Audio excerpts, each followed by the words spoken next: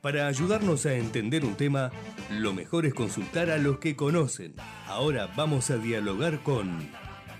Claro, y un tema más que importante que tiene que ver justamente, son tres temas varios de por sí, pero uno tiene que ver con la actualización de las jubilaciones, con la ley bases, como comentábamos hace un ratito, y también, claro, con eh, el tema del DNU, que todavía está allí en danza.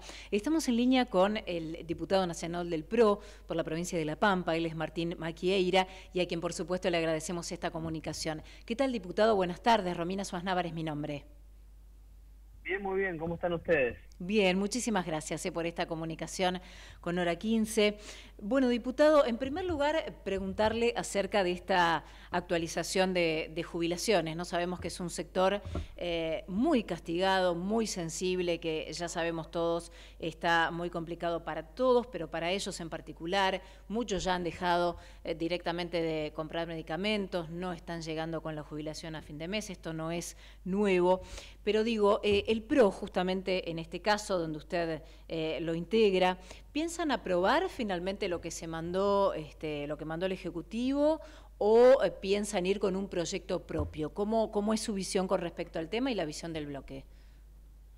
Bueno, en un primer punto, lo, más importante que tiene que ponerse en debate es cómo logramos recomponer el haber jubilatorio, con una fórmula que está actualmente corriendo muy por detrás de la inflación que incluso ya se licuó en el gobierno anterior los, los saberes jubilatorios en un 40% en términos reales y que si eso no se cambia, lamentablemente la inflación va a seguir cada vez carcomiendo más sus, sus saberes. Frente a eso, nuestro espacio presentó un proyecto de, María Eugenia Vidal, el cual acompañé, para que esta recomposición de, de las jubilaciones vaya a la par de la inflación, es decir, que se actualice por supuesto, 15 días después de que se presente el índice de inflación, ¿no? Por una cuestión lógica, pero previendo cómo, va a ser la inflación en cada mes para que, que vaya directamente atado a eso, al IPC, al índice de precios eh, de los consumidores, ¿no? Lo que uno, uno, uno ve en el INDEC.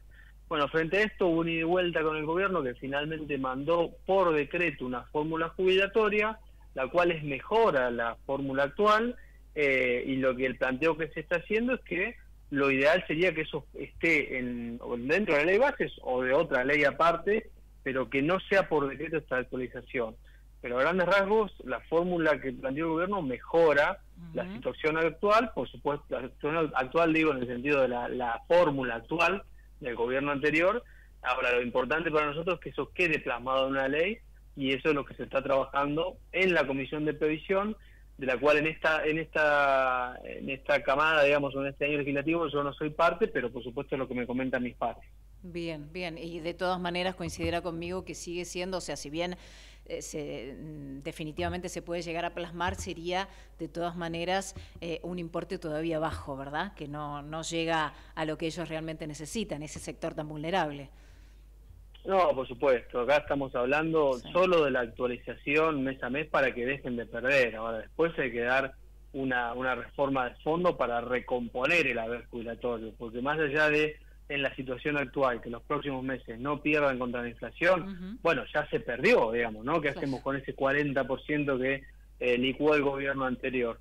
En ese sentido es que a la par de que se plantea, por ejemplo, la reforma laboral, que lo que va a lograr es que más gente pueda estar registrada, y el estar registrado significa que uno tenga aportes y vayan al ANSES, al, al fondo jubilatorio, y se puede ir recomponiendo, eh, que eso va a llevar tiempo, pero bueno, mientras hay que acompañar, sea con un bono como planteó el Gobierno Nacional, o con otra recomposición, porque no hay, no hay a ver que alcance, por supuesto. Tal cual, tal cual, diputado. Con respecto a la ley bases, hablábamos también, mencionábamos hace un ratito, ¿no? El, proyecto que actualmente ha quedado de 600 artículos 300, de allí a 245.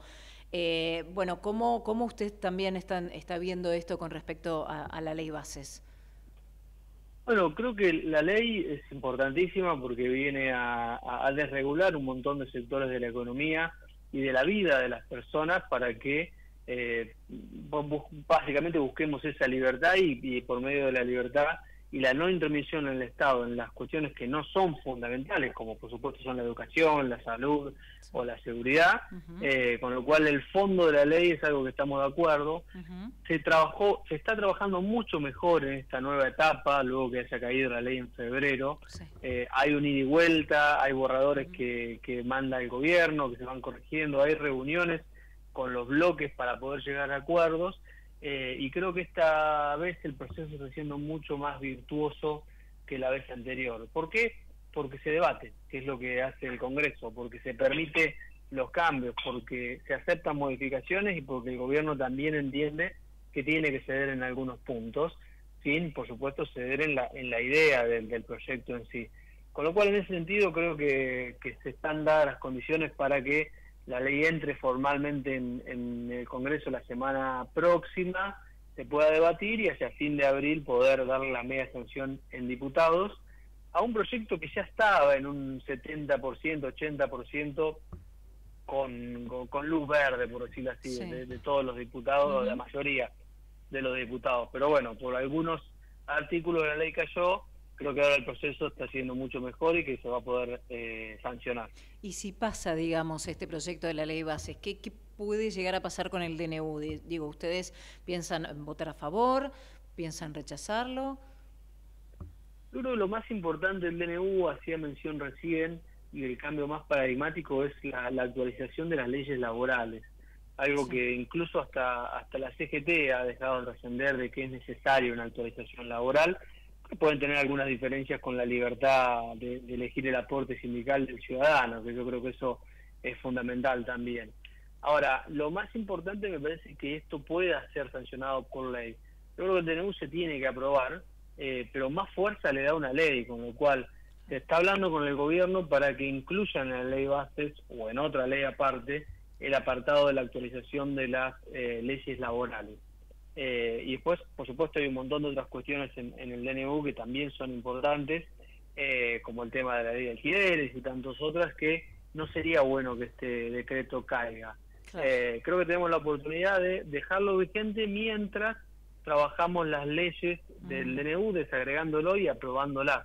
Creo que esa sería una buena salida y, que no tenga el, el, derrotero que tuvo en la Cámara de Senadores. Bien, diputado, y con respecto a ganancias, ¿usted qué opina? Bueno, por supuesto que eh, es un impuesto que tanto en, nuestra, nuestro país como en el mundo es el más progresivo. ¿Y en qué sentido es esto? Se le cobra a quien más tiene, ¿no? Y, no por supuesto no se le cobra a quien menos tiene o tiene un salario mínimo. Ahora, en una Argentina donde se han achatado los salarios, claro, cualquier persona que hoy gana eh, un poco por arriba de la canasta básica, o se acerca a un millón o un millón doscientos mil pesos que no es un montón, digamos. Eh, por supuesto uno puede vivir, pero, pero no, es, no es un millonario. No, no, tal cual. Bueno, eh, eh, en ese sentido la ley de ganancias recaería sobre esa persona, con lo mm. cual lo que nosotros creemos es que la ley de ganancias, haberla sacado no estuvo bien, porque es un, un impuesto que paga el 7% que más recursos tiene mm. de la Argentina, pero que las escalas se tienen que modificar, porque no puede ser que pague el, el 25, el 35% de su salario. Hay alguien que gana, no sé, 10 millones de pesos y que lo mismo pague alguien que gana un millón. Bueno, ese que, paga, que cobra un millón no tiene que pagar. Eh, pero si hay un impuesto que hay que bajar, no es eh, ganancia o eliminar, sino son el IVA, por ejemplo, que le cuesta más pagarlo al que menos tiene. Es verdad, es verdad. Diputado, ha sido muy amable por esta comunicación con Hora 15. Muchas gracias. Por favor, muchas gracias a ustedes. Un saludo a toda la audiencia. Igualmente, eh, que tenga buenas tardes. Estábamos hablando con el diputado nacional del PRO por la provincia de La Pampa, Martín Maquieira, eh, dejando allí sus conceptos eh, más que claros con respecto entonces al bloque del PRO en este caso.